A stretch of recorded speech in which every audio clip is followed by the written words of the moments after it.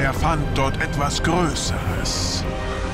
Die Chance, mächtiger zu werden, als er jemals war. Wie ein blutdürstiges Kriegsbiest jagte er dieser Chance nach. Ohne Ehre, ohne Vernunft.